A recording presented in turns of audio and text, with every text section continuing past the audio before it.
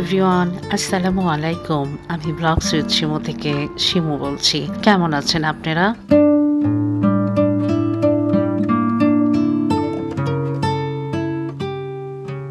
এই গরমে কেউ ভালো নেই। আর বাংলাদেশে যে গরমটা পড়েছে, আমার মনে হয় এই প্রথম এই গরম এতটা পড়েছে। তো আমি একটু বাহিরে গিয়েছিলাম, বাহিরে যে আমার অবস্থা একদমই নাজেহাল অবস্থা। বাহিরে যাওয়ার পরে প্রয়োজনীয় টুকটাক জিনিস কিনলাম এবং পছন্দের কিছু মিষ্টিও কিনলাম। আর এই দোকানটাতে আমার একদমই নতুন যাওয়া, বিক্রমপুর।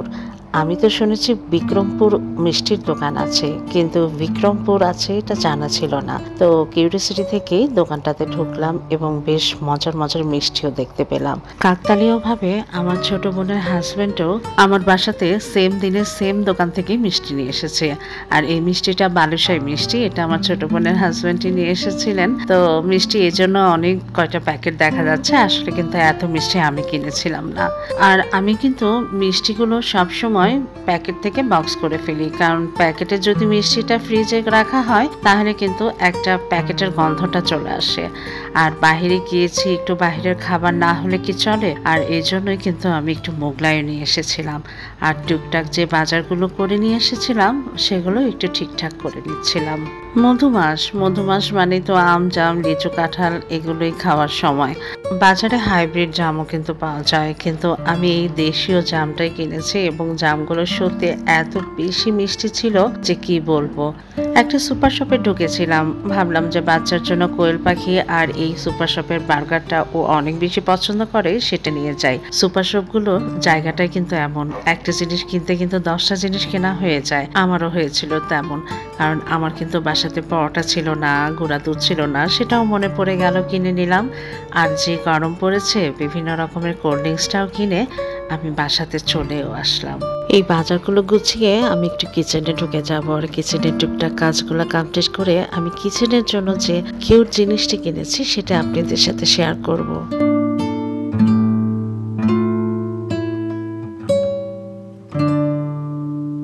গত পর্বে আপনারা দেখেছিলেন যে আমার ভাই রাজশাহী থেকে কত ধরনের মাছ নিয়ে এসেছিল। তো বোয়াল মাছের প্যাকেটটা আমি বের করলাম এবং বোয়াল মাছগুলো আমি আলাদা আলাদা বক্সে করে রাখব, তাহলে আমার জন্য সুবিধা হবে।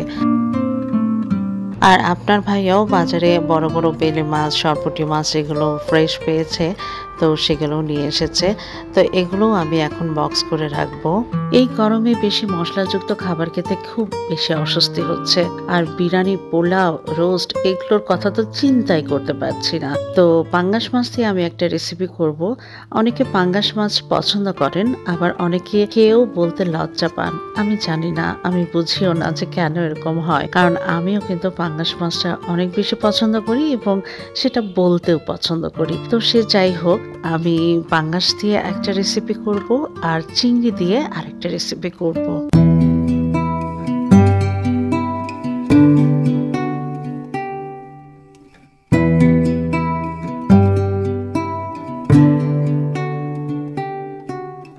টমেটো দিয়ে পাঙ্গাস মাছ ভুনাটাই কিন্তু ভালো লাগে কিন্তু যেহেতু গরম অনেক বেশি পড়েছে এর জন্য একটু পানিযুক্ত সবজিগুলোই খাওয়ার চেষ্টা করছি আর এই জন্যই পাঙ্গাস দিয়ে লাউটা রান্না করব। আর সাথে নর্মাল ধনিয়া পাতাটা না, চাইনিজ ধনিয়া পাতাটা দিয়ে এই রেসিপিটা সত্যি খুবই অসাধারণ হয় আপনারা ট্রাই করে দেখতে পারেন আর চিংড়ি দিয়ে পোল্লা রান্না করব।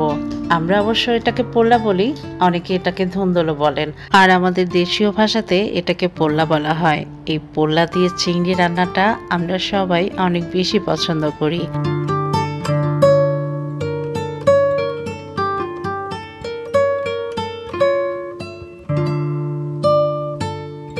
প্রসেসটা কিন্তু খুব ইজি লাউ চিংড়ি তো আমরা সবাই খাই, চিংড়ি পোল্লাটাও তেমন ভাবেই আমি রান্না করেছি। তো আমার দুটা রেসিপি হয়ে গেছে, লাউ পাঙ্গাস এবং পোল্লা চিংড়ি দিয়ে। আর চিকেনটাও আমি রান্না করে রাখলাম, কারণ বাচ্চাদের জন্য চিকেনটা আমার লাগেই। টাইটেলে বলেছিলাম, আমার চাচা আমার জন্য গিফট পাঠিয়েছে, কিন্তু গিফটটা যে খাবার ছিল, এটা আমি আসলে সত্যি বুঝতে পারিনি। প্যাকেটটা আনপ্যাক করার সময় আমার যে দুই বোন দেশের বাহির থেকে এসেছিল, তারাও অবাক। এবং তারাও কিন্তু নিয়েও গিয়েছে বাংলাদেশ থেকে চাচার এই গিফটের অংশ বিশেষ তো ওরা খাওয়ার পরেও কিন্তু বলেছে যে চাচার স্পেশাল বিস্কিটগুলো সত্যি অনেক বেশি স্পেশাল ছিল। চাচাকে এই ভিডিওর মাধ্যমেই আমি বলতে চাই যে কাকু, আপনাকে অনেক অনেক অনেক ধন্যবাদ এত মজার মজার বিস্কিট পাঠানোর জন্য।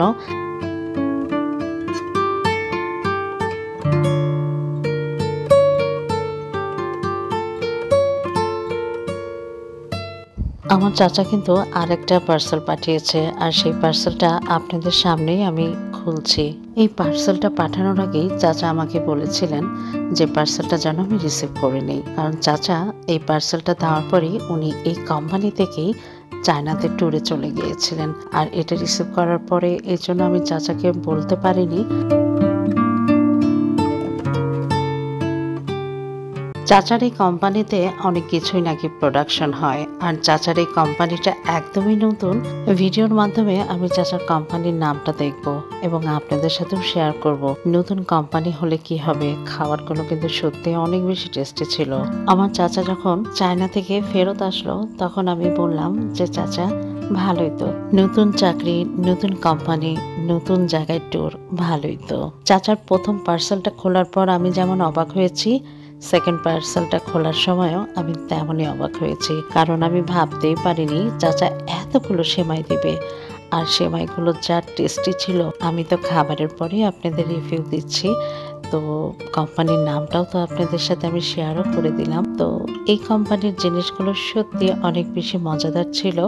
আর চাচাকে এই ভিডিওর মাধ্যমে আবারও ধন্যবাদ দিতে চাই। এত এত সেমাইয়ের প্যাকেট, এত এত বিস্কিট পাঠানোর জন্য। আমার কিন্তু একদিক থেকে ভালোই হলো। কারণ সামনে কিন্তু কোরবানি ঈদ।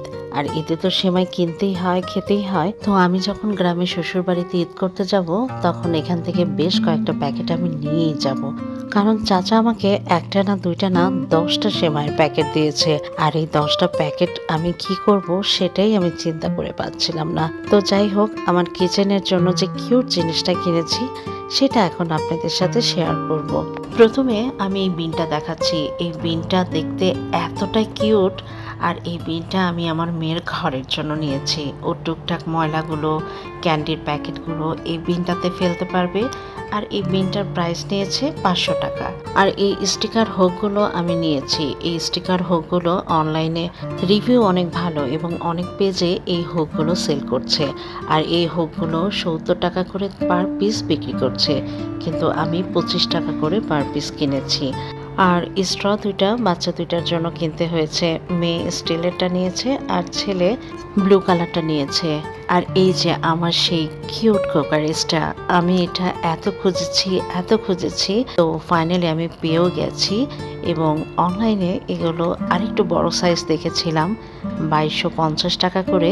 কিন্তু আমি এক সাইজ ছোট নিয়েছি, এটার দাম নয়শো টাকা পড়েছে। আমি এটা এত খুঁজেছিলাম যে কি বলব? আর এই হ্যান্ডেলটা কাঠের জন্যই আমার বেশি ভালো লেগেছে। কাঠের যে কোনো জিনিসই আমাকে অনেক বেশি কাছে টানে। আর এটা ঝোলানোর জন্য একটা জায়গাও রয়েছে। আমার এই সসপ্যানটা আপনাদের কাছে কেমন লেগেছে অবশ্যই মতামতের অপেক্ষায় থাকলাম। আর রান্নাঘরের এই নতুন সদস্যকে আমি যখন ব্যবহার করব, তখন অবশ্যই আপনাদের সাথেও শেয়ার করব। আর এতক্ষণ আমার এই ভিডিওটি যারা দেখেছেন, তাদের অসংখ্য অসংখ্য ধন্যবাদ। আর যারা আমার চ্যানেলে নতুন, তাদেরকে রিকোয়েস্ট করব আমার চ্যানেলটা সাবস্ক্রাইব করে আমার সাথে এবং পাশেই থেকে যাওয়ার জন্য। ধন্যবাদ।